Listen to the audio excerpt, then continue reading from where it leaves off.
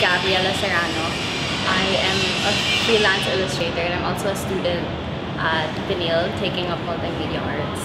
And I've been making um, short comics since I was in high school. Um, well, I think the thing that pushed me to start writing and making my own comics is when I started reading them. I really enjoyed them when I was in grade school.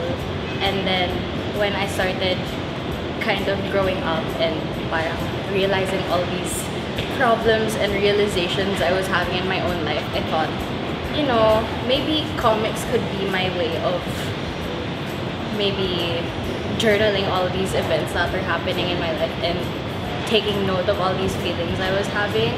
So it became like um, my diary and that's how I started doing comics.